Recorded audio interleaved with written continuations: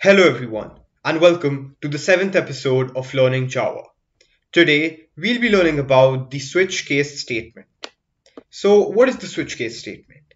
Switch case statement it is like the if construct statement but it is a faster alternative to the if construct and it can be used to test lesser complicated statements as compared to the if statement. Switch statement can be used to make menu driven programs which is very useful when you're writing big applications. So let's see how switch statement works. So let's say I want to write a code in which I want to give the user two options. One option uh, will be to accept a number and then to add 100 to it and the second option option will be to accept a number and then to subtract 100 from it so i want to perform one of these operations and the user can select which operation to perform so let's see how this code will work so first since we need to accept the values from the user I have already written, I've already called the import java.util.star package. I have called a class switch case and this is the main method. So scanner sc is equal to new scanner system.in. This is my scanner and now I'll accept a value from the user. So I'll tell the user to enter a number. So this is going to be printed and the value which the number enter enters is going to be stored in the variable n.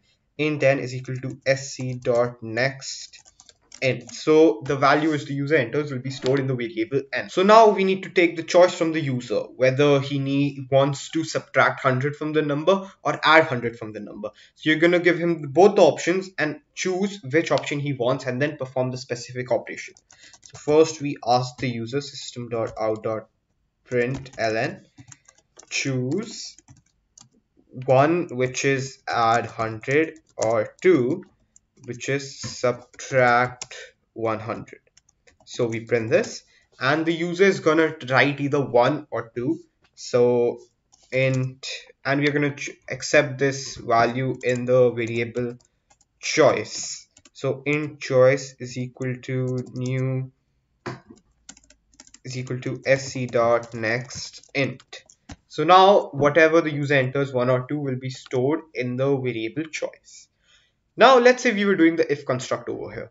So we would write something like if choice equals equals one then we'll write the code in these brackets. Uh, else if choice equals equals 2 and then we'll do the minus 100 and else if the user enters something wrong like 0 or 34567 or something then we would just type okay wrong value so that's how we would write the if construct now to use the switch construct which is much preferred if you want a menu driven program like this we can do something like switch so once I write switch, there's this, this is the basic uh, algorithm code type of thing for the switch case statement.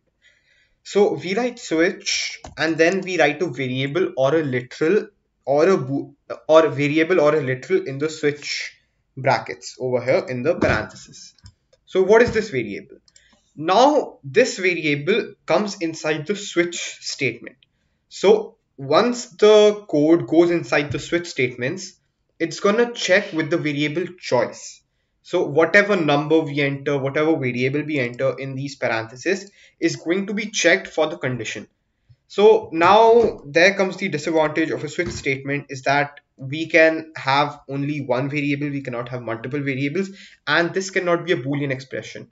So a boolean expression is something like we cannot write something like ch is equal to equal zero something. We only need, we can only write a literal or a variable. So let's see how this works. Then you'll be able to understand this in more depth. So switch choice. Now this choice variable, we need to check what value it is. So we can write case. This is where the case part of the switch comes. Case one. Now, why do we write this colon? Why do we write one? Why do we write case? So case is just the normal statement which you have to write. There's no going past that. One is the value which the which we need to check. So let's say I'll give you a quick dry run kind of stuff for this code. So the user is going to enter choice example, he enters one. So the switch and switch knows that to check the variable choice. So then it's going to go to the first case.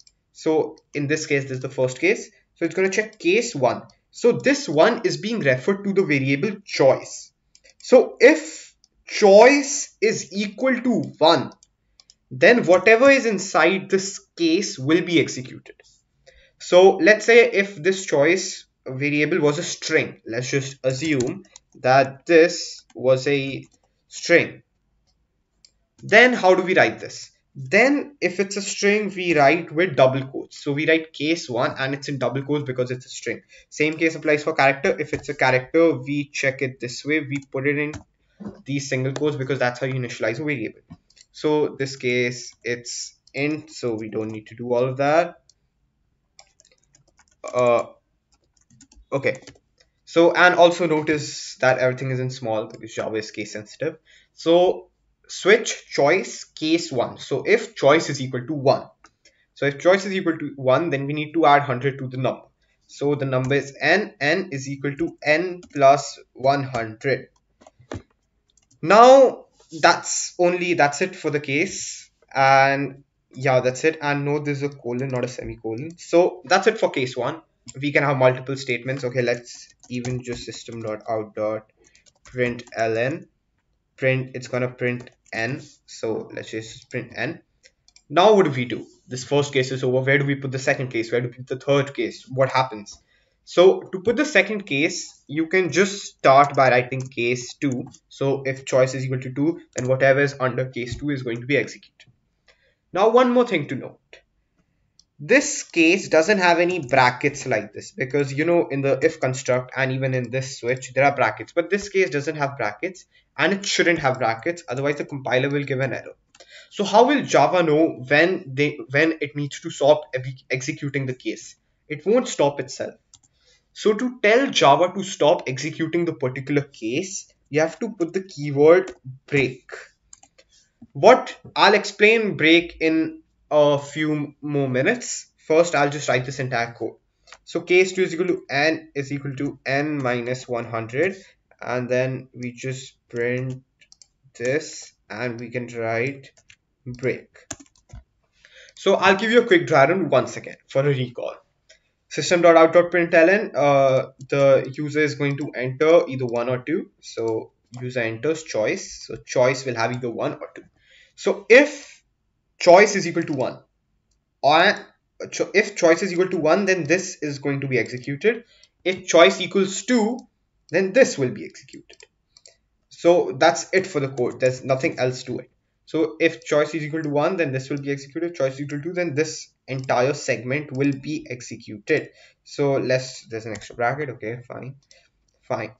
There's another error coming. Let's see. Okay there's another bracket okay now we compile the thing and let's go void main and let's enter a number. Let's say we enter the number 20 and let's say we add 100 so output comes 120 so we know the code works.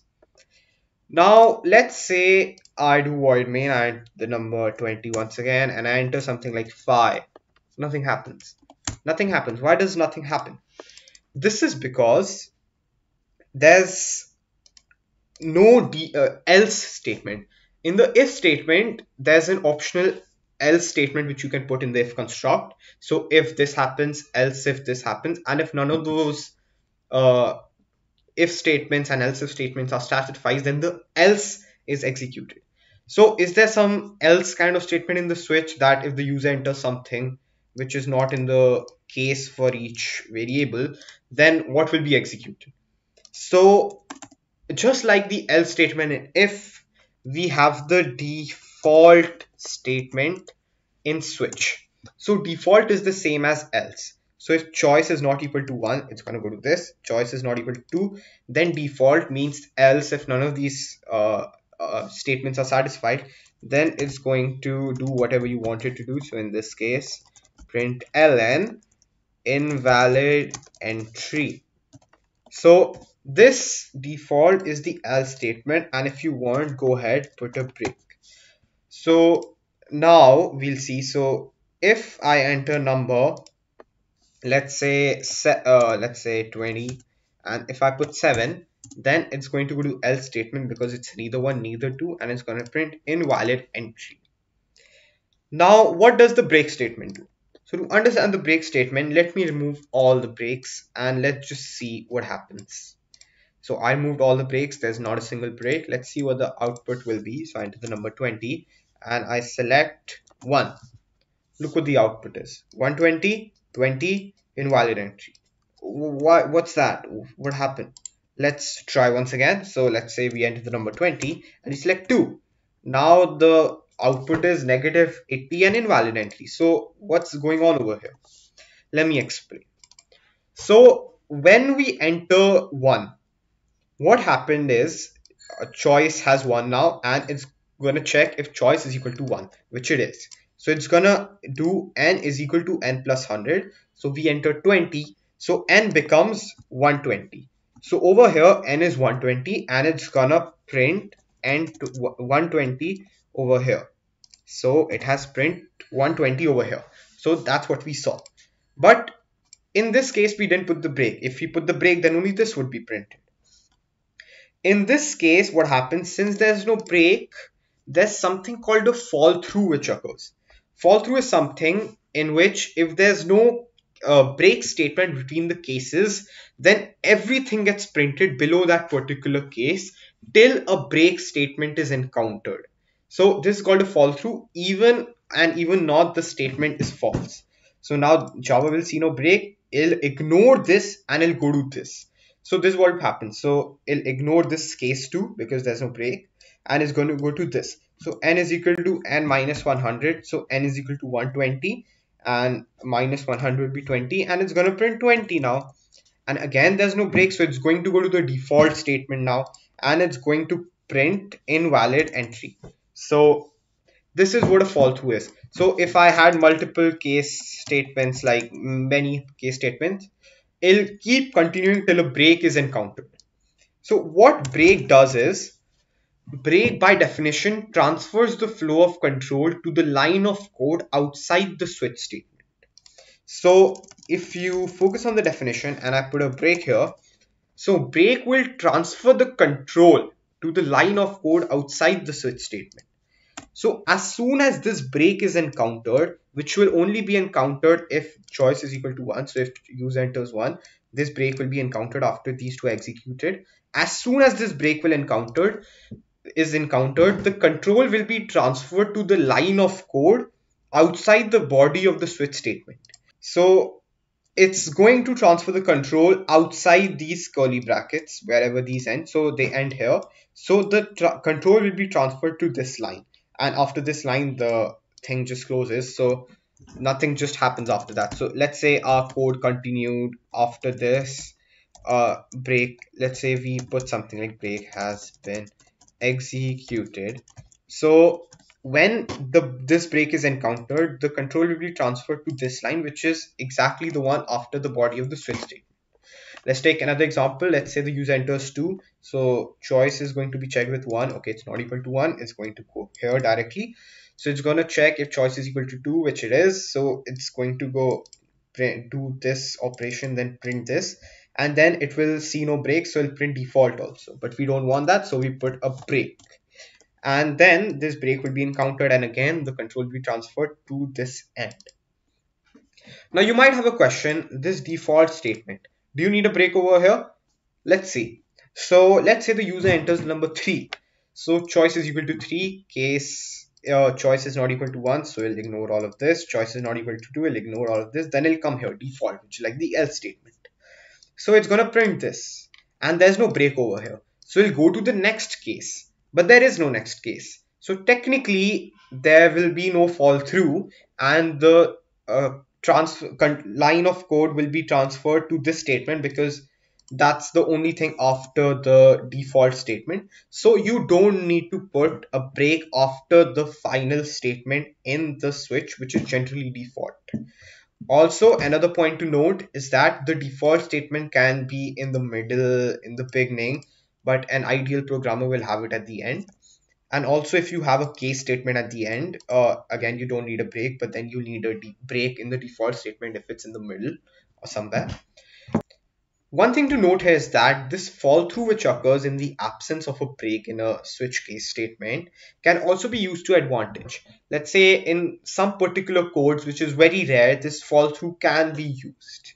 I would recommend you all try writing some codes in which this fall through can be used. So that's it for today, everyone. Thanks for watching. And if you have any queries, doubts, or suggestions, you can mail me. My email will be in the description down below. And thanks again for watching.